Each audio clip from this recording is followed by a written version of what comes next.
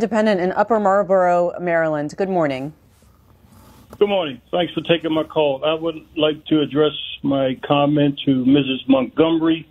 Um, if she doesn't know how she's in her current station of life, uh, based on resources or uh, uh, housing taxes or just her luck of the draw, I agree you're not very smart. Thanks for taking my call. Uh, wait, wait, wait, Aaron. What what are you talking about? What do you mean? Exactly. Let's sound smarter when we ask the question, please. Well, yeah, you, you, you made a comment earlier when mm-hmm. you were living in Nevada and you moved to Atlanta. You, I don't know if it was my resources in Nevada because I guess they had pretty good school system. Actually, we don't. Nevada was ranked very low when it comes to education. It just so happened well, that you, our government allocates our dollars better. But go ahead. Well, but well, uh, uh, but initially you said you didn't know if you were smarter. But if you think resources in regards to how I feel my level of, intelligence is in relation to the people that I've met out here. Yeah, uh, Michaelah, let I'm him finish. For, go ahead, Aaron. I'm sorry for talking while you're interrupting. Uh, well, you go ahead. Carry on. I think I, I understand what you're getting.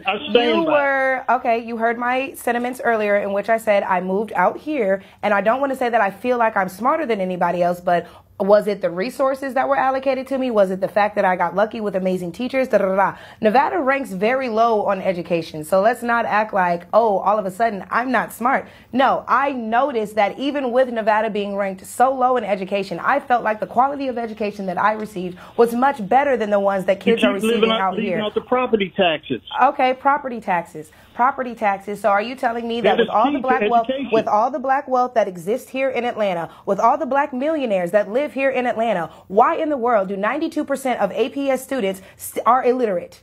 Make it make sense. And we have Democratic mayors, we have Democratic city council members, we have Democratic commissioners, and for whatever reason, 92% of the kids here cannot read. That statistic did not exist in Nevada. So again, I don't know if it was the fact that I got lucky. I can't say that, oh my God, it's the teachers that suck out here. I would never demean our educators here in Atlanta. But what we can acknowledge is the numbers, sir. And so while you want to call me not smart, please tell me what your side has done to fix the illiteracy rate that we see see in our black children? Absolutely nothing. And in fact, not only have they not done anything to address the illiteracy issue, but then they're further confusing their kids by confusing your kids by telling us, telling them that men can give birth, by telling them that there's 53 genders, and that by telling them that your love for your best friend must mean that you are gay, you are a pansexual, asexual. Kids under the age of anything high school should not be thinking anything sexual, period. Sexual should not even be in their vocabulary. So for you to say that I'm not smart because I'm willing to call out